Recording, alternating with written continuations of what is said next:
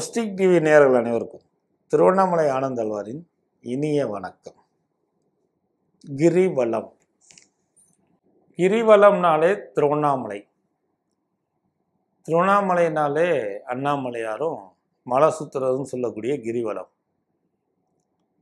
இந்த கிரிவலத்தில் நன்மைகள் அப்படின்னு சொல்லி கிரிவலம் எந்தெந்த கிழமையில் வந்தால் என்னென்ன பலன்கள் கிடைக்கும்னு சொல்லி நிறைய நிகழ்வுகளை பார்த்துருக்குறோம். நானும் நிறைய நிகழ்ச்சியில் உங்களுக்கு சொல்லியிருக்கிறேன்.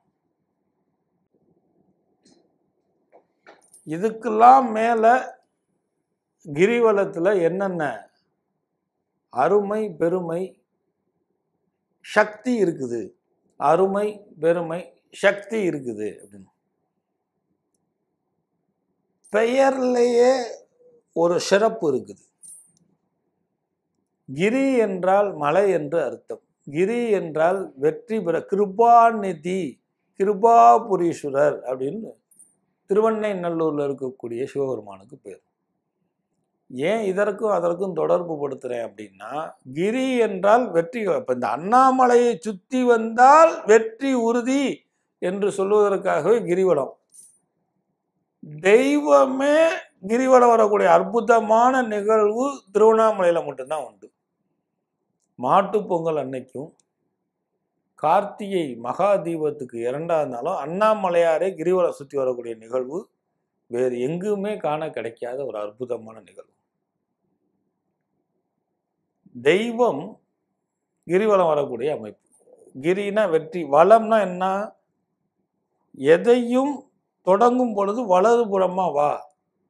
வலக்கை வலதுபுறம் வளர்க வாழ்க. சொல்லியிருக்காங்களா இல்லையா?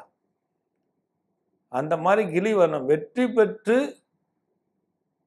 வளமாக வா அப்படின்னு ஒரு அர்த்தம். வெற்றி பெறுவதற்கு வலது பக்கம் வா அப்படின்னு அர்த்தம். அப்போ கிரிவலம்னாலே மொதல் நமக்கு தன்னம்பிக்கை வந்துடுது யானைக்கு எப்படி தும்பிக்கையோ அந்த மாதிரி தன்னம்பிக்கை வந்துடுது இந்த கிரிவலம் அப்படிங்கிற பேர்ல இவ்வளோ இருக்குது. இது என்ன சக்தி? நான் கிரிவலம் எப்படி நடக்க போகிறேன்னு யாரும் நினைக்கிறதே கிடையாது. கிரிவலம் போவோமா? வா போவோம் அப்படின்னு தன்னை அறியாமல் வந்துடும் அப்போ கிரினா வெற்றி கிடைக்க போகுது அப்படின்னா உள் மனதில் ஒரு சக்தி உண்டாயிருது அதை வைத்து நடந்துடுறாங்க. உள்ளூர்காரங்க நடந்துருவாங்க. இன்னைக்கு கோடான கோடி வெளிநாட்டில் இருந்தும் வெளியூரில் இருந்தும் வெளி மாநிலத்தில் இருந்தும் வந்து கிரிவலம் போடுறாங்கன்னா முதலில் அந்த அண்ணாமலையாருடைய கருணையினால பெயரிலே சக்தி கிடைச்சிருது. இது அதிசயம். இந்த கிரிவலத்தை தொடங்குவதற்கு முன் பூத நாராயண பெருமாள் பெருமாள் வந்து பூத கணங்களாக அண்ணாமலையாருக்காக மலையை கா காமிக்கிறார். பாதுகாக்கிறார். இப்போ கிரிவலம் தொடங்குவதற்கு முன் பூத நாராயணரை வணங்குறோம். அதில் ஒரு சூட்சமம். நம்ம உடம்புல பூத கணங்கள் இருக்குது. பஞ்சபூதம். மூச்சு வாங்குது தண்ணி தான் அடிக்குது கால் வலிக்குது. அப்போ பூத நாராயணரை கும்பிட்டுட்டு போனால் எப்படி அவர் பூதகணமாக காணினாரோ இந்த பூதங்கள் எல்லாம் ஒடுங்கி ஒரு மனதாக நம்மளை மலையை சுற்றி இறைவனை சரணாகடி அடைக்கக்கூடிய வேலை பூதன. அதனால தான் பூத நாராயண பெருமாள் கோயிலேருந்து ஸ்டார்ட் பண்ணுவாங்க. நிறைய பேர் ராஜகோபுரத்துக்கு முன்னாடி ஸ்டார்ட் பண்ணுறாங்க அது தவறு அல்ல. ஆனால் முறை ப்ரொசீஜர் அப்படிங்கிறது பூத நாராயண பெருமாள் கோயிலேருந்து அதுலேருந்து ஆரம்பித்து அண்ணாமலையாருடைய ராஜகோபுரத்தில் வரும். அண்ணாமலைக்கு அரோகுரா அண்ணாமலைக்கு அரோகுரா அண்ணாமலைக்கு அரோகுரா என்று சொல்கிறோம் அண்ணாமலையார் அங்கேருந்து பார்க்குறான் ஆகா கிரிவலம் என்ன சுத்தியா நீ வர? மலை சுத்தியா வர? அப்படின்னு சித்தர்கள் இன்றைக்கும் மக்களோட மக்களாக வரக்கூடிய அமைப்பு. இதை சித்தர்கள் மக்களோட மக்களாக வரக்கூடிய அமைப்பை பார்க்குறேன் நான் வந்து அண்ணாமலையாரை நம்மளில் ஒருத்தனா வரான்னு நினைக்கிறேன். ஏன்னா நான் உணர்ந்துருக்கிறேன் கடந்து. வருடத்துக்கு ரெண்டு தடவை சுத்தக்கூடிய அண்ணாமலையார் ஏன் நம்மள ஒருத்தர் நம்ம நம்ம கூட விடுங்க. அட நான் பாவிங்க. கிரிவலம் இன்னைக்கு நாலு லட்சம் பேர் அஞ்சு லட்சம் பேரா போகிறோம் அதில் ஒருத்தனாகவும் அண்ணாமலை எப்படி சிதம்பரத்தில் டீச்சர் மூவாயிரம் வாழ் அந்தணர்கள் வாழ்கன்னு சொல்ல தீட்சர்களில் ஒருத்தனா அந்த நடராஜ பெருமான் இருக்கிறானோ அதே போல் இந்த சிவபெருமானுக்கு பிடித்த அண்ணாமலையாருக்கு பிடித்த அருணாசலேஸ்வரருக்கு பிடித்த கிரிவலத்தில் நம்மளுடைய அவரும் மகிழ்ச்சியாக கிரிவலக்கூடிய அற்புதமான நிகழ்வு. திருவண்ணாமலையில் பௌர்ணமியை மட்டுமல்லாமல் எல்லா பொழுதும் நடக்குது. இன்னைக்கு இரவு பொழுதுலையும் பகல் பொழுதுலையும் எண்ணற்ற ஜனங்கள் தொடர்ந்து கிரிவலம் வராங்க. அது இந்த ராஜகோபுரத்தை விட்டுட்டு இந்திரலிங்கம். இந்திரன் வந்து வழிபட்டக்கூடிய லிங்கம். அண்ணாமலையாரே அஷ்டலிங்கமாக இருக்கிறதா ஐதீகம். அஷ்டம்னா எட்டு எட்டு ஆயுள்காரனை குறிக்கிறது எட்டு ஒரு வாழ்க்கைக்கு மனிதனுடைய வாழ்க்கைக்கு ஜாதக ரீதியாகவும் தொடர்பில் உள்ளது. ஆனால் அது வந்து எட்டு பேரும் புகழும் நன்மைக்கும் உள்ளது எட்டு. அதனால தான் அஷ்டலிங்கம்னு வச்சான் அதில் இந்திரலிங்கத்தை இந்திரன் வந்து வழிபட்டான். அப்போ அந்த இந்திரலிங்கத்தை வழங்கும் போது இந்திரன் போல வாழ்க்கை. எப்படி சார்? நமக்கு ஒரு வெள்ளை யானை வந்து நம்மளும் ரொம்ப ரதியோடு இருப்போமா? நீங்கள் தானே சொன்னீங்க இந்திரன் வழிபட்ட லிங்கம். அல்ல அல்ல. நமக்குன்னு இருக்கக்கூடிய மனைவியை விட்டு கொடுக்காம நம்மளிடம் மனைவி வந்தாலும் நம்மளுடைய தாய் தந்தையை விட்டு கொடுக்காம நம் பெத்த பிள்ளைகளோட மனைவியோட வேலை வாய்ப்பு பணம் பொருளாதாரம் இருந்தாலும் மகிழ்ச்சியாக இந்திரன் எப்படி மகிழ்ச்சியாக இருந்தானோ அந்த மாதிரி. அதே போல் நமக்குன்னு ஒரு வாகனம் அந்த வாகனம் சும்மா பிளக்கு போச்சு பஞ்சர் ஆச்சு காற்று போச்சுன்னு சொல்லாமல் ரிப்பேர் இல்லாமல் நமக்கு ஒரு வாகனமாக அமைஞ்சு நல்ல ராசியான வாகனமா நமக்கும் நம்ம குடும்பத்துக்கும் விளைக்கக்கூடிய அமைப்பை இந்திரலிங்கத்தை வழிபட்டவனும் கிடைக்கும். இயந்திரமான வாழ்க்கை அல்ல இன்பமயமான வாழ்க்கையை கொடுப்பதால் அதுக்கு இந்திரலிங்கம். இன்பமயமான வாழ்க்கையை கொடுக்குறக்காக தான் இந்திரன் வந்து வழிபட்ட லிங்கம். அப்போ இந்திரன் வழிபடும் பொழுது அவனோட அந்த யானை வந்து வெள்ளை யானை வழிபட்டுச்சு. அந்த வெள்ளை யானைமே வாகனமாக கருதப்படுது கிடந்து. இந்திரலிங்கத்தை தவிர்த்து நம்ம தொடர்ந்து பாத யாத்திரை தொடர்றோம். அப்படி பாத யாத்திரை தொடர்கிறப்ப அக்னி லிங்கம் அக்னிலாம் இங்கே அந்த ஆவுடையா இந்த பக்கத்துலேருந்து அந்த பக்கம் மாறி இருப்பார் சூழ நோயை நீக்குவதற்கு எப்படி திருப்பதியம் படிச்சுச்சோ? சார் என்னால் பாட்டு படிக்க முடியாது தேவாரம் தெரியாது திருவாசகம் தெரியாது. நமச்சிவாய சொல்ல வெக்கமாக இருக்குது. ஓங்கி சொன்னால் எல்லாரும் சிரிச்சிருவாங்க. அண்ணாமலையாரை நான் பார்க்குறேன் இன்னும் முழுசாக நம்பலை. எல்லோரும் கூட்டத்தில் வராங்க நானும் கூட்டத்தில் வரேன். அப்படி எனக்கு வயிற்று வலிக்குது. எனக்கு கால் வலிக்குது. தண்ணி தான் அடிக்குது அப்படின்னா இந்திரலிங்கத்தை போய் பார்க்குறான். மந்திரமாவது நீரு வானவர் மேலது நீரு சுந்தரமாவது நீரு துதிக்கப்படுவது நீரு. வெந்துயர் தீர்ப்பது நீரு வேதத்தில் உள்ளது நீருன்னா திருநீரை இவ்வளோ விஷயம் தெரியாது சார். ஆனந்தால் நீங்கள் சரி பேசிட்டு போயிடுவீங்க வேண்டியதில் அக்னி லிங்கத்தை பார்த்து வணங்கினா போதும். வெப்ப நோய் சூழ நோய் வேனல் கட்டி அடி வயித்தை பிடிச்சிக்கிறது இதை எல்லாத்தையும் நிவர்த்தி பண்ணலாம் ஏன்னா அடுத்து மலை சுத்துறவனுக்கு எந்த விதமான உஷ்ணத்து நடக்காதவன் நடக்கிறான்னு கால் ஒளி வந்துடக்கூடாது. நடக்காத நடக்கிறான் சூடு ஏறிடக்கூடாது. அக்னிலிங்கம். அப்புறம் அக்னிலிங்கத்தை வணங்கிட்டு நம்ம வெளியில் வரும் பொழுது தேவ ரிஷிகள்னு சொல்லிய ரமணாசிரமம் விசிறி சாமிகள் ஆசிரமம் இவங்களுடைய ஆசிரமத்தான் ராம் சு- சுரத்குமார் ஆசிரமம் இவங்களெல்லாம் பார்த்துட்டே வரும். வரும் பொழுது யமலிங்கம்.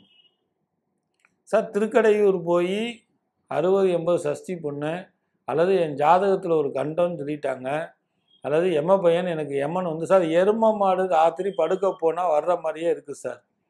யாரோ ஒரு கருத்த உருவம் என்னை துரத்துது சார் அப்படின்னு சொல்கிறவங்க நிறைய பேர் இருக்கிறாங்க. ஜாதகத்தில் மரண கண்டம் இருக்குது அல்லது மாறாங்கடான் இருக்குது மரணத்துக்கு ஒப்பான கண்டம் இருக்குது. தப்பிக்கணுமா ஒன்று அண்ணாமலையார் கோயிலில் போய் துண்டை விரிச்சு படு. இல்லை யமலிங்கத்தில் போய் படு. யமே வந்து ஒன்று பார்க்க மாட்டான். அந்த டயம் கடந்துருச்சுன்னா நீ தப்பிச்சுக்கிட்ட. சொல்கிறாங்களா இல்லையா டாக்டர் இந்த காட் செயல் எதுவும் பன்னெண்டு மணி நேரம் போகணும். எட்டு மணி நேரம் போகணும். அந்த மாதிரி யமலிங்கத்தை வணங்கும் பொழுது ஜாதகத்தில் மரண தோஷம் கண்டம் கண்டச்சாரம் இருந்தால் அதை நிவர்த்தி பண்ணுறான்னா அதனால் அவனுக்கு யமலிங்கம். யமன் வந்து வழிபட்ட யம தர்மராஜான்னு பேர். தன்னுடைய வேலையில் இருந்து அவன் பின்வாங்க மாட்டான். ஆனால் யாரெல்லாம் அண்ணாமலையார் பக்தனாக இருந்தாலும் அவனுக்கெல்லாம் அவன் அந்த டயத்தை விட்டு பயந்துக்கிட்டு வந்து பிடிக்க மாட்டேங்கிறானா இதை இன்னும் கிரிவல பாதையில் உங்களை புரியுறக்கா பெங்களூர் போகிறேன்னு சொன்னால் தான் தெரியும் அந்த யமலிங்கம். யமலிங்கத்தை கடந்து நம்ம வரும்பொழுது நிருதி லிங்கம். இந்த நிருதி லிங்கத்தில் இன்னைக்கும் போய் பார்க்கலாம். பெரிய பெரிய ஜட்ஜ்மெண்ட்லாம் வந்து சாமி கும்பிடுவாங்க ஜட்ஜெல்லாம் கொடுக்கக்கூடிய தீர்ப்பு நன்மையாக இருக்கணும். அதனால் குற்றவாளிகள் தண்டிக்கப்பட்டாலும் அது பாதகாதமாக மாறிடக்கூடாது. நிறுதிலிங்கம் போனீங்கன்னா பெரிய பெரிய ஜட்ஜெல்லாம் வந்து சாமி கும்பிடுவாங்க. அந்த மாதிரி வாழ்க்கையில் ஒரு ஜட்ஜ்மெண்ட் வேணும். அது தர்ம நியாயத்துக்கு கட்டுப்பட்டு இருக்கணும். தப்பு செய்தா இருந்தாலும் அவனை திருத்துறதா இருக்கணுமே தவிர அவனை தண்டிக்கிறதா ஒருதலைபட்சமாக இருக்கக்கூடாது. என் நாக்கில் சரஸ்வதி இருந்தாலும் சந்திரன் என்னை குழப்பி கொண்டே இருக்கிறான். நியாயவாதியாக இருந்தாலும் நான் நிரபராதியாக இல்லை இருக்கிறா அப்படின்னு சொல்லுவதற்கு எனக்கு சக்தி கம்மியாக இருக்குது அப்படிங்கிறலாம் நிருதிலிங்கத்தை வணங்கினா அவன் அரசாட்சி புரிஞ்சு ஒரு நல்லது ஒரு தீர்ப்பை கொடுத்து அந்த பாவம் உங்களுக்கும் உங்கள் குடும்பத்துக்கும் சேராமல் பார்த்துக்கக்கூடிய அற்புதமான நிகழ்வு தான் இந்த நிருதிலிங்கம். இந்த நிருலிங்கத்தை கடந்து நம்மளுடைய பாதையை தொடர்ந்து நடந்து கொண்டு வரும்போது பல்வேறு சாமிகளுடைய ஆசீர்வாதம் அடிமுடி சித்தருடையது கௌதம சித்தருடைய கோயில் இவங்களெல்லாம் மலை பாதையில் இவங்களுடைய சமாதி இவங்களுடைய கோயிலெல்லாம் பார்த்து கொண்டு நம்ம அடுத்து வரும் பொழுது வர்ணலிங்கம். வர்ண பகவான் வந்து வழிபட்ட லிங்கனால வர்ணலிங்கம். வாழ்க்கையில் தண்ணி தனியாக காசு செலவாகுதுன்னு சொல்கிறவன் போரில் தண்ணி வரலன்னு சொல்கிறவன் விவசாயம் பொய்க்குன்னு சொல்கிறவன் தண்ணிக்காக சண்டை போட்டவன் ரொம்ப மழை வெள்ளம் வந்து ஆகும். நம்ம காடாக போச்சு திருப்பி அந்த இடத்துல பொட்டல் காடாக இல்லாமல் இருக்குன்னு சொல்கிறவன்லாம் வர்ணன் வழிபட்ட வர்ணலிங்கத்தை வழிபட்டா அவனோட விவசாயம் செழிப்பம் பெறும். இதையும் விரிவலப்பாதையில் நடத்தி கொண்டிருக்கிறார் அண்ணாமலையார். அடுத்ததாக சூரியலிங்கம். இந்த சூரியலிங்கம் வந்து இந்த இடத்துல ஒரு சிறு விளக்கம் கொடுக்குறேன். இப்போ சமீப காலமாக ஏழு குதிரைகள் ஓடின படம் வெள்ளை குதிரையில் ஓடின படத்தில் வந்தால் காசு பணம் பெருகும் வீட்டில் சுபிட்சம் உண்டு அப்படின்னு ஒரு நிகழ்வு கேள்விப்பட்டு இருக்குது. அது தவறல்ல. ஆனால் சூரியலிங்கத்தை வணங்கினாலோ சூரியலிங்கத்துடைய படத்தை வச்சாலே எப்பேற்பட்ட வாஸ்து தோஷம் நிவர்த்தி ஆயிரும். அந்த சூரியலிங்கத்துக்கு அவ்வளோ பெரிய ஆற்றல். உடம்புல எம்ஆர்ஐ சிடி இதெல்லாம் எடுத்து என்ன நோயின்னு கண்டுபிடிக்க முடியலையா? எண்டோஸ்கோப்பி போட்டு போட்டு பார்க்குறோம் ஒன்றும் இல்லைன்னு வருது. சார் ஆனால் வகுத்த வலிக்குதுன்னு சொல்கிறாங்களா பெண்களுக்கு கர்ப்பப்பை பிரச்சனையா? சூரியலிங்கத்தை தொடர்ந்து ஞாயிற்றுக்கிழமை ஒன்பது வாரம் சுத்துங்க. இந்த இருந்த இடம் தெரியாமல் போயிடும் சூரியலிங்கத்துக்கு அவ்வளோ பெரிய ஆற்றல். அதே போல் தந்தை மகனில் சொத்து பிரச்சனை நடக்கிறவங்க சூரியலிங்கத்தை முறையாக வந்து வணங்கிட்டு போனீங்கன்னா சமாதானமும் விட்டு கொடுக்குற தன்மையும் ஏற்படுத்தக்கூடிய அமைப்பு சூரியலிங்கத்துக்கு உண்டு. இதையெல்லாம் கடந்து நம்ம பயணத்தை தொடரும் பொழுது ஆதி அண்ணாமலைன்னு பேர். இது கிரிவலப்பாதையிலேருந்து ஒரு சின்ன கிராமமாக ஊருக்குள்ளே இருக்குது கிரிவலம் வரும்பொழுது அவசியம் நம்ம பார்க்க வேண்டிய விஷயம். அண்ணாமலையாருடைய பழைய கோயில் அண்ணாமலையார் இங்கே தான் மலையடி வாரத்தில் இருந்தார். அதுக்கப்புறம் தான் இப்போ அண்ணாமலையார் கோயிலுக்கு வந்து உட்கார்ந்ததா அர்த்தம். இது அடி அண்ணாமலைன்னு இப்போ சொல்கிறாங்க ஆதி அண்ணாமலை அப்படின்னு பேர். அண்ணாமலையார் கோயில் இருக்கிற மாதிரியே இங்கேயும் இருக்குது. அவரை என்றைக்குமே பழசை மறக்கக்கூடாது. நீ மலை சுற்றி பெரிய ஆயிட்டாலும் மலை சுற்றுறேன் என் கூட அண்ணாமலையார் வராருன்னு நினச்சாலும் நானே அண்ணாமலைன்னு ஆணவம் கொண்டாலும் பழசை மறக்கக்கூடாதுங்கிறதுக்கு தான் அடி அண்ணாமலை. ஆதி அண்ணாமலையாக நினச்சின்னா உயர்வு. இல்லைன்னா அடி அண்ணாமலையாக நினச்சின்னா நீ வே நீ போகக்கூடிய அந்த பாத யாத்திரைக்கு அடிப்பலன் தான் கிடைக்கும் அப்படின்னு உணர்த்துறது தான் அடி அண்ணாமலை. அதற்கப்புறம் பார்த்தீங்கன்னா பிரணவம் அப்படின்னு சொல்லக்கூடிய மூச்சு வாயுலிங்கம்னு பேர்.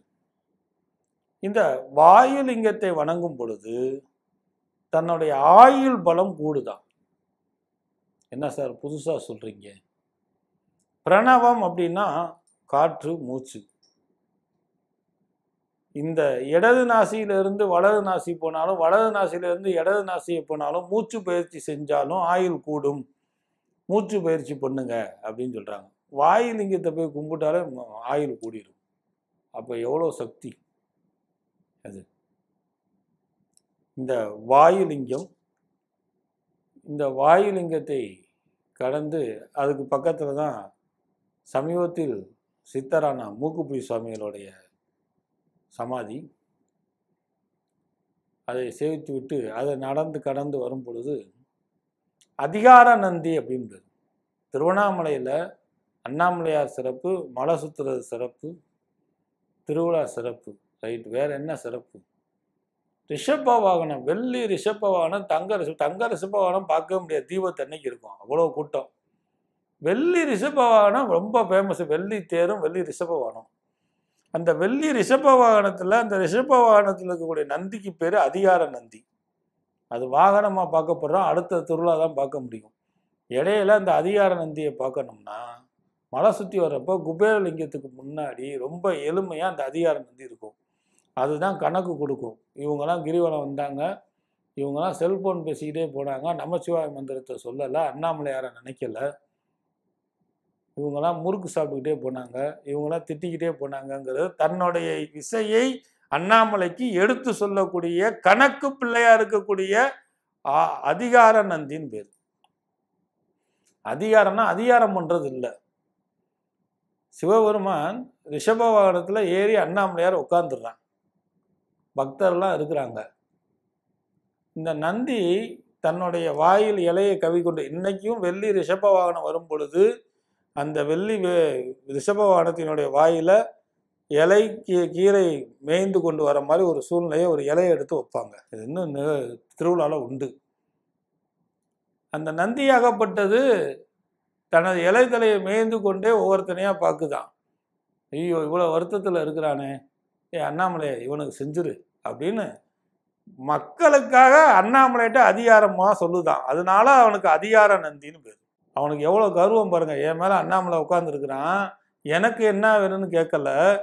உன்னை பார்க்க வர பக்தருக்கு நீ இவனுக்கு இதை செய்யணும் கட்டளை இடுவதால் அவனுக்கு அதிகார நந்தின்னு பேர். அதிகார நந்தி எளிமையாக இருக்கும். அவசியம் செய்வீங்க. இதெல்லாம் நம்ம சேனலை தவிர வெளியில் தெரிவதற்கு வாய்ப்பு இல்லை அதுக்கப்புறம் குபேரலிங்கம். லட்சுமி கடாச்சகத்தை கொடுப்பதால் குபேரலிங்கம். முன்னொரு காலத்தில் பதினஞ்சு வருஷத்துக்கு முன்னாடி குபேரனை நேரடியாக வழிபட மாட்டாங்க. ஏன்னா குபேரனை கும்பிட்டா எவ்வளோ காசு வருமோ அவ்வளோ நோக்காடு வந்துடும் குபேரனுக்கு வெண்குஷ்டம் வெள்ளைப்படுற நோய் தான் இருக்குதுன்னு சாஸ்திரத்தில் சொல்லப்பட்டிருக்குது. சார் என்ன சார் இப்படி சொல்கிறீங்க அப்படின்னா குபேரனுடைய அதிபதி தேவதை வந்து கஜலட்சுமி. அந்த காலத்தில் வீட்டில் போனீங்கன்னா நிலையில் ஒரு லட்சுமி தாமரையில் ரெண்டு பக்கமும் யானை நீர் பீச்சுற மாதிரி இருக்கும். இது பேர் கஜலட்சுமி. அதை கும்பிட்டாலே குபேரனை கும்பிட்டா பலன் கிடந்துடும் அப்போ குபேரலிங்கத்தை கும்பிடாதீங்கன்னு சொல்றீங்களா? குபேரலிங்கத்தை குபேரன் வழிபட்டனால கும்பிடுறது சிறப்பு. நம்ம குபேரனை நேரடியாக கும்பிடல. அதே போல் குபேரலிங்கத்தை கும்பிட்டா லட்சுமி கடாசை வந்துடும் காசு பணம் நிறைஞ்சிடும் அந்த குபேரலிங்கத்தை கும்பிட்டா லட்சுமி கடாசகம் வந்துடும் குபேரனுடைய அருள் கிட்டும் குபேரனை நேரடியாக கும்பிடாத பாக்கியம் கிட்டும் ரைட்டு வேற என்ன செய்யும்? காசை சேமிக்கக்கூடிய தன்மையை கொடுப்பான் குபேரலிங்கம். அதனால தான் இங்கே கூட்டம். சம்பாதிக்கிறது கஷ்டம். சம்பாதிச்சுட்டா பாதுகாத்துறது கஷ்டம். பாதுகாத்துட்டா சேமித்து வைக்க முடியாத சூழ்நிலை நம்ம எல்லாத்துக்கும் இருக்குது. அவசியம் குபேரலிங்கத்தை வணங்கும் போது காசை சேமிக்கக்கூடிய அமைப்பு உண்டு. அதை தொடர்ந்து நம்ம கிரிவலத்தை வருகிறோம். கடைசி லிங்கமாக ஈசானிய லிங்கம். வாஸ்து கோளாறு தன் வசிப்பிடம் உண்டு உறைவிடத்தில் இருக்கக்கூடிய வாஸ்து கோளாறை ஃபுல்லாக நிவர்த்தி பண்ணுறான் பள்ளத்தில் இருக்கிறான். வாழ்க்கையில் கீழ்மட்டத்தில் இருந்து படிப்படியாக உயர்ந்து வரணுங்கிறத ஒவ்வொருத்தருக்கும் உணர்த்துறான். ஈசானிய மூலையில் இது உயர்ந்திருக்கணும் அது தாழ்ந்திருக்கணும் அப்படின்னு வாஸ்துகளில் குறையில் இருந்தால் ஈசான லிங்கத்துக்கு அந்த வீட்டின் பேர் யார் பேரில் இருக்கோ அதுக்கும் அந்த வீட்டினுடைய அளவுக்கு தகுந்த மாதிரி தேங்காய் பழம் உடைச்சி அர்ச்சனை பண்ணால் வாஸ்து குறையை நிவர்த்தி பண்ணக்கூடிய அற்புதமான அமைப்பு ஈசான லிங்கத்துக்கு உண்டு. அதற்கு எதிர்த்தாப்புல பெண்ணுனாலையும் கோபுரம் கட்ட முடியும். அந்த பெண்ணுக்கும் திருவண்ணாமலைக்கும் மைசூருக்கும் ஒரு தொடர்பு இருக்குது. போச்சு சும்மாவே ஆகாது. இவர் ஒரு புது கதையை போகிறாருன்னு நினைக்க வேணாம். அம்மணி அம்மன் சன்னதின்னு ஒன்று இருக்குது. இன்னைக்கும் திருவண்ணாமலையில் அம்மணியம்மன் கோபுரம்னு கோபுரம் இருக்குது. தீவிரமான சிவபக்தராகக்கூடிய அந்த அம்மா தன்னுடைய முயற்சினாலே அண்ணாமலையாருக்கு ஒரு கோபுரம் கட்டினா அதனால தான் அதுக்கு அந்த அவ பேரை வச்சு அம்மணியம்மன் கோபுரம்னு வச்சுட்டாங்க. இப்போ கொஞ்சம் கொஞ்சமாக சிவ தொன்று புரிஞ்சு காசு சேர்த்து கட்டும் பொழுது கோபுரம் ஒரு அளவுக்கு மேலே வரும் பொழுது பொருளாதாரம் பத்தலை. என்னடா செய்யலாங்கிறப்ப மைசூரில் திருவிழா நடக்குது மைசூர் ராஜாட்ட போய் கேட்போம்னு சொல்லி போகிறான் மைசூர் ராஜா ஒரு பாட்டி தானே வந்திருக்கிறா? இவளா கோபுரம் கட்டிடுவான்னு நினைக்காம அண்ணாமலைன்னு சொன்ன உடனே அவனால் முடிஞ்ச காணிக்கையை கொடுத்தான். அதனால் அந்த கோபுரம் எந்திரிச்சிச்சான் அப்போ சிவத்தொன்று புரிஞ்சாலும் குறிப்பிருந்து யார் செய்வாங்களோ அவங்கள வற்புறுத்தி வாங்காமல் யாசகம் பெற்று ஒரு பெண்ணுனால ந- பெண் நினைத்தால் கோபுரத்தையும் கட்ட முடியும். அப்படிங்கிற நிறைவேற்றி அந்த அம்மன் அம்மனை வணங்கி கொண்டு வரும் பொழுது பெண்ணுக்கு தன்னம்பிக்கையும் தைரியமும் விடாமுயற்சி தன்மையும் கொடுக்கக்கூடிய அற்புதமான நிகழ்வு. மீண்டும் கிரிவலத்தை தொடங்கும் பொழுது பூதநாராயண பெருமாள்கள்கிட்ட வந்து அதை நிறைவு செய்கிறோம். அதுக்கப்புறம் அண்ணாமலையார ராஜகோபுரத்துக்கு முன்னாடி சாஸ்தாரமாக விழுந்து நமஸ்காரம் பண்ணுறோம் உள்ளூர்காரன் மலை ஏற மாட்டாங்க. ஏன்னா அண்ணாமலையாரே மலையாக இருக்கிறாரு அப்படின்னு. அதனால் சாமியை பார்த்துட்டு மலை சுற்றினாலும் மலை சுற்றிட்டு சாமியை பார்த்தாலும் அவன் ஒருவனே அவனே அண்ணாமலை அப்படின்னு பேர். அண்ணான்னா உயர்ந்தன்னு அர்த்தம். உயர்ந்துட்ட அப்படின்னு முற்றுப்புள்ளி வைக்கல. உயர்ந்து கொண்டே இருக்கிறன்னு. அவனை பதினாலு கிலோமீட்டர் நடந்து வந்து கிரிவலம் செல்லும் பொழுது உடலில் சக்கரங்களுடைய சக்தி தூண்டப்படுது தீய எண்ணங்கள் ஒழிக்கப்படுது. நிறைவேறக்கூடிய ஆசைகள் நிறைவேறும். அபால ஆசைகளை தடுக்கப்படுது. ஆசையே துன்பத்துக்கு காரணம். மனிதா உணர்ந்து செய் அப்படிங்கிற ஒரு எண்ணத்தை மேலோங்குது. நாலு பேரை மதிக்கணும் அப்படிங்கிற ஒரு எண்ணத்தை கொடுக்குது. தனக்கு பெயரில் மட்டும் இல்லை மலை சுற்றிட்டு வந்தால் என் கஷ்டம்லாம் நிவர்த்தி ஆகுது. நானும் வெற்றி பெறேன்னு சொல்லக்கூடிய தன்மையை கொடுக்குது. இதெல்லாம் போக என் அண்ணல் அகில உலகத்தையும் காக்கக்கூடிய அண்ணாமலையாரே நம்மளில் ஒருத்தராக கிரிவலம் வரக்கூடிய அற்புதமான அமைப்பை இன்றளவும் காணக்கூடிய ஒரு அமைப்பு. இந்த அண்ணாமலையாரை நினைத்தாலே முக்தி அப்படின்னா என்ன சார்? நினச்ச உடனே டகவும் நம்ம முக்தி அடைஞ்சிட்டு அப்போ அடுத்த பிறவியில் நம்ம பிறக்க வேண்டியதில்லை. முக்தினா என்னன்னே தெரியாமல் இருக்கிறோம் நம்ம. இறந்து இன்னொரு பிறவி வேணாம் அதனால முக்தின்னு நினச்சிக்கிட்டு இருக்கிறோம். ஒரு பாட்டு இருக்கு பிறவா மனம் வேண்டும். சரி. பிறந்துட்டா உன்னை மறவா மனம் வேணும் அப்படிங்கிறா. அப்போ என்ன அர்த்தம்? பிறவா மனம் வேணும். அப்போ முக்தி கிடைச்சிருச்சுன்னு புள்ளி வைக்கல. பிறந்துட்டா உன்னை மறக்கவே கூடாதுன்னு. அதை காட்டிலையும் ஒரு படி மேலே அண்ணாமலையார்.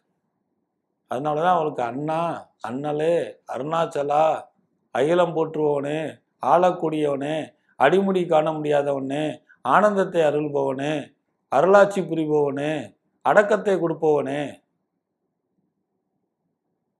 இந்த ஜீவன் இருக்கிறது முடிக்க அவனை வாழ்த்திக்கிட்டே இருக்கலாம்.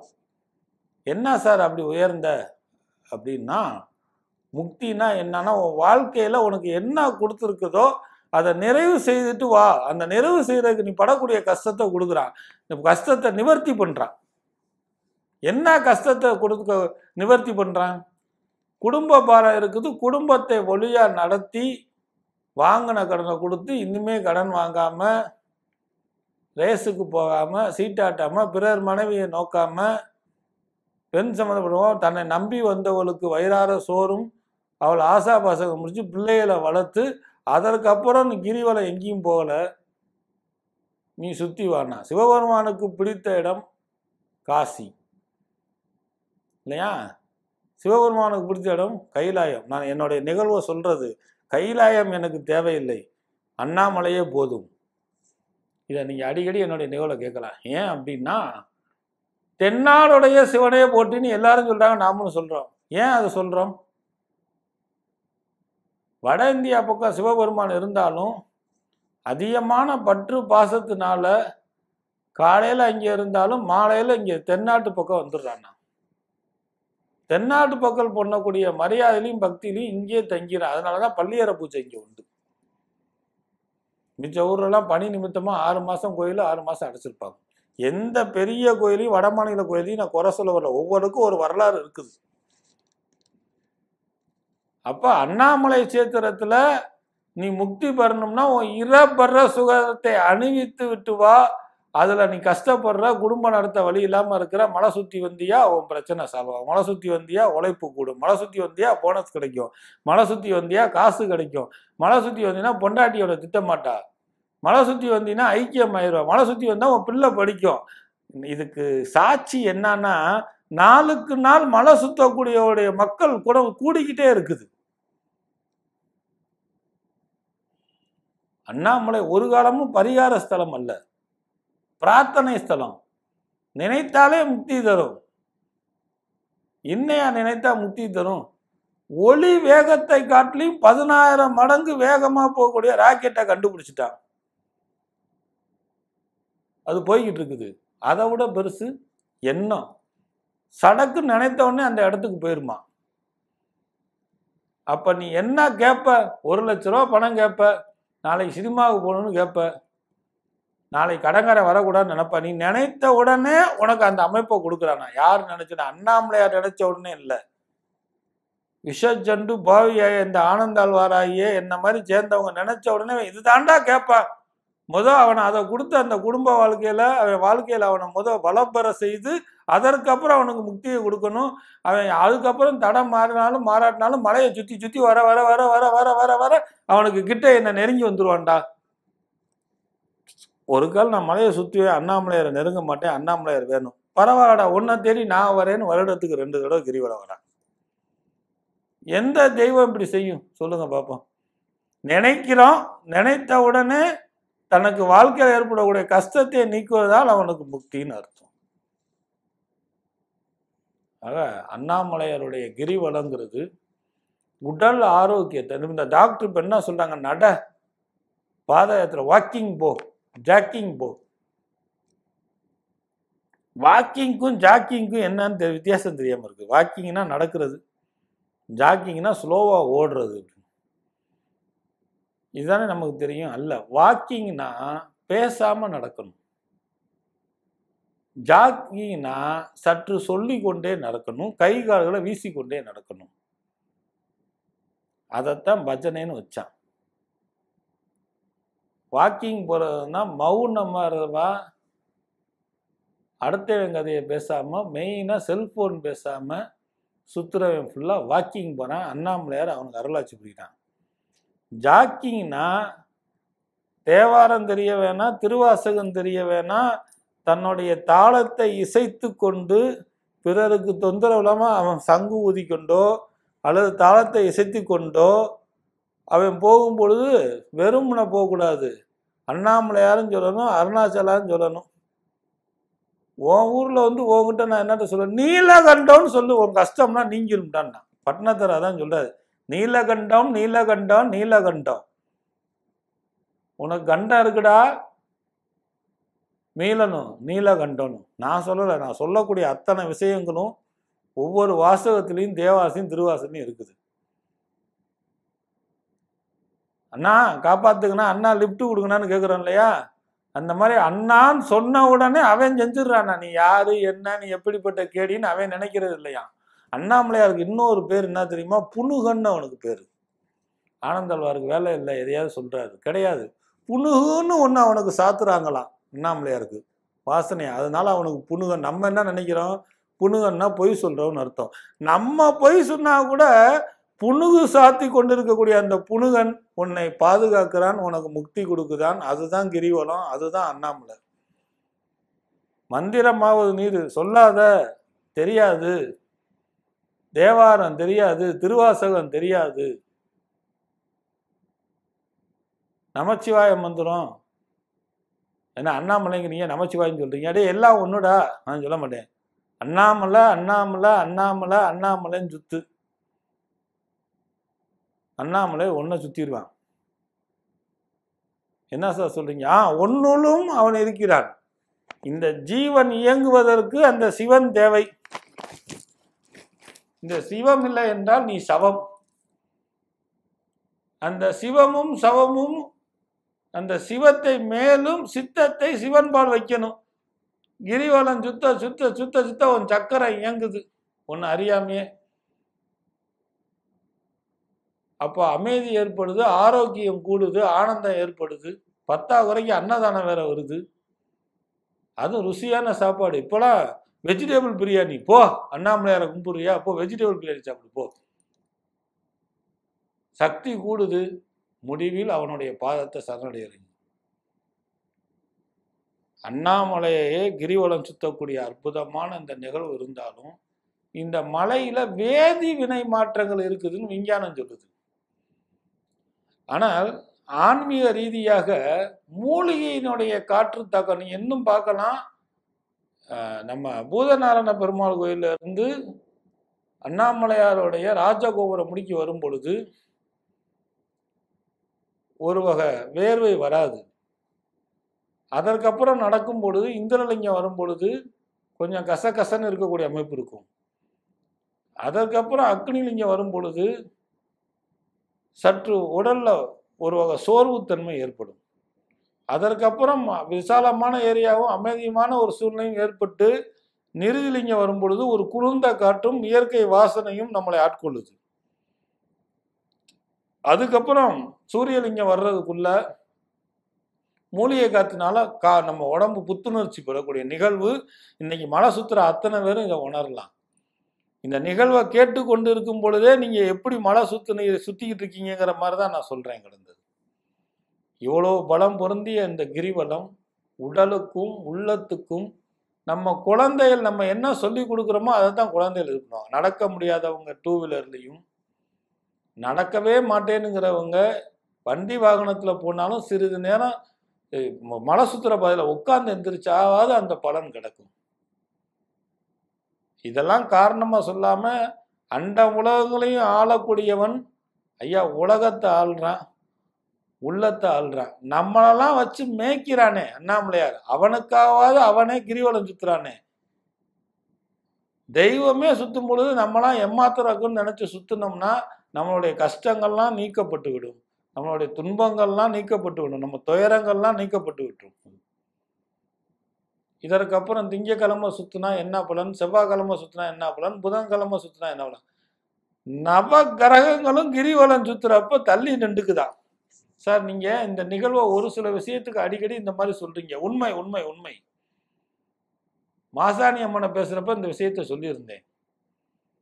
அந்த மாதிரி கிரிவலம் சுத்துறப்ப சிவனுடைய அணுக சிவன் சொத்து கொலநாசன்னா யாரு திருநீர் அறிஞ்சு உத்திராட்சம் போட்டு சிவனுடைய நினைச்சு கிரிவலம் சுத்துறானோ அவனவனும் இதை தொ- தொட்டோம்னா நம்ம குல நாசம் நவகிரக விலை இருக்குதான் இதை பல்வேறு நிகழ்ச்சியில பெரியவங்க சொல்லியிருக்கிறாங்க. அதை நான் உங்ககிட்ட எடுத்து சொல்றேன்.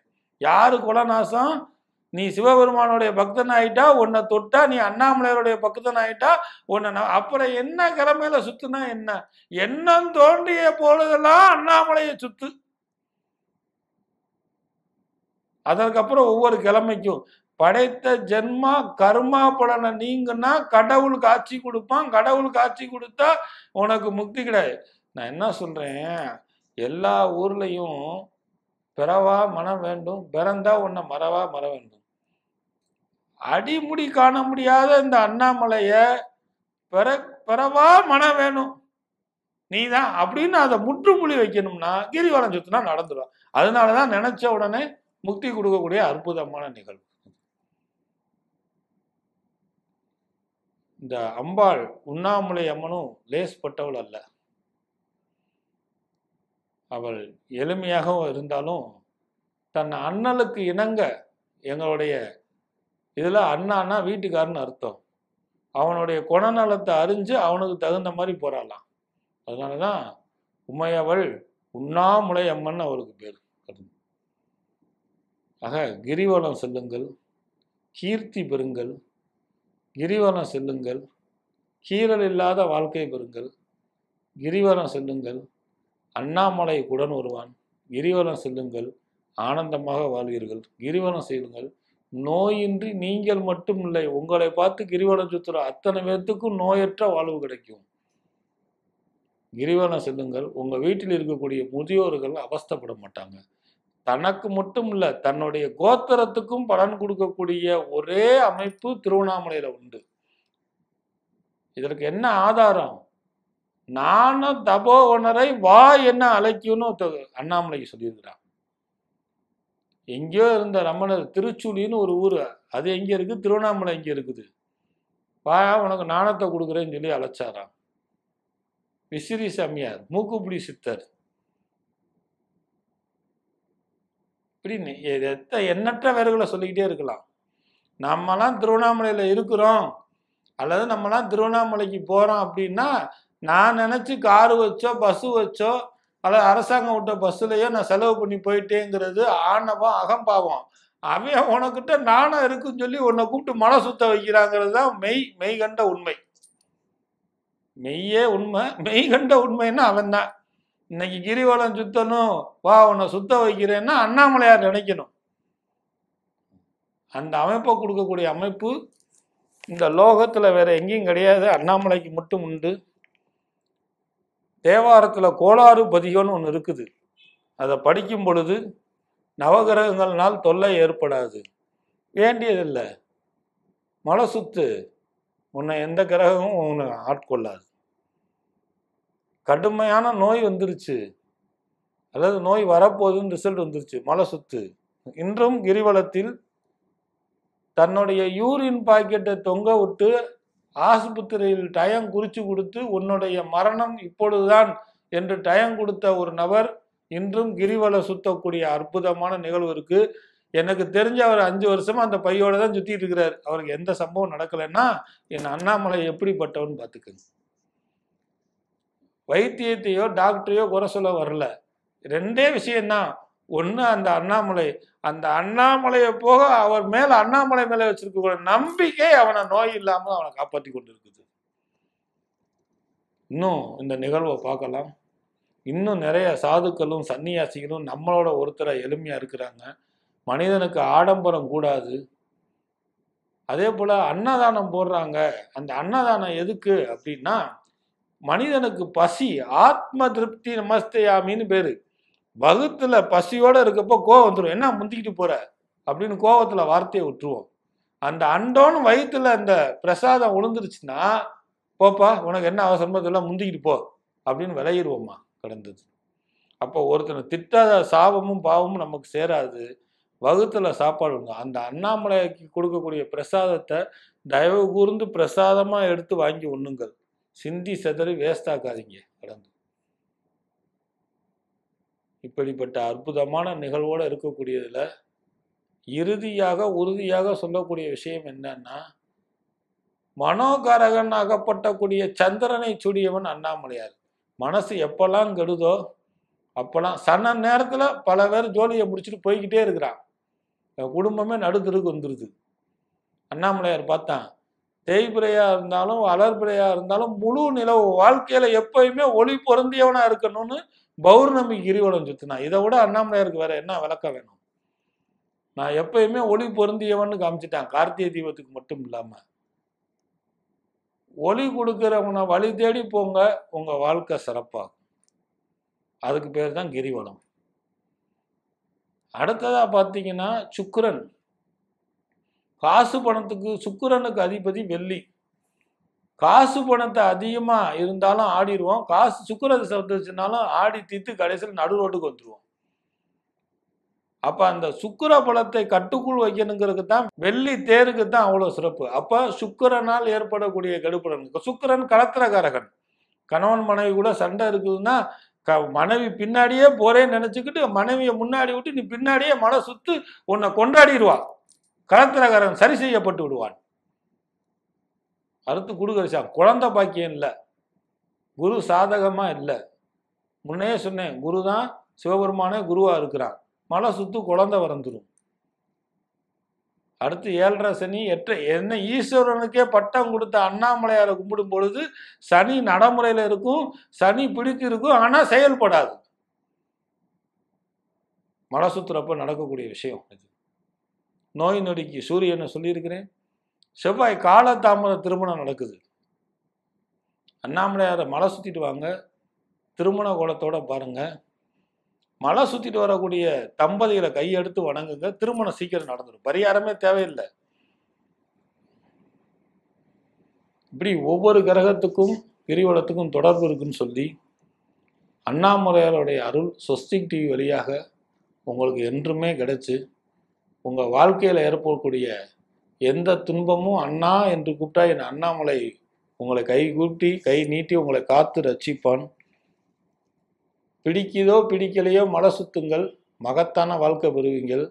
நீங்கள் பிடித்தாலும் பிடிக்காட்டினாலும் உங்களை மலை சுத்த வர வைக்கக்கூடிய அந்த அண்ணாமலை நம்ம சொஸ்டிக் டிவி நேர்களை அத்தனை பேரையும் மலை சுத்த அழைக்கணும்னு சொல்லி உங்கள் சார்பாக அந்த அண்ணாமலைக்கு கோரிக்கை வச்சு அண்ணாமலைக்கு அறவுரா அண்ணாமலைக்கு அறவுரா அண்ணாமலைக்கு அரோகரா என்று அவன் பொற்பாதம் பணிந்து உங்களிடமிருந்து விடைபெறுவது திருவண்ணாமலை ஜோசியர் திருப்போணம் கோரக்நாத் அடிமை ஆனந்தாழ்வார். வணக்கம்.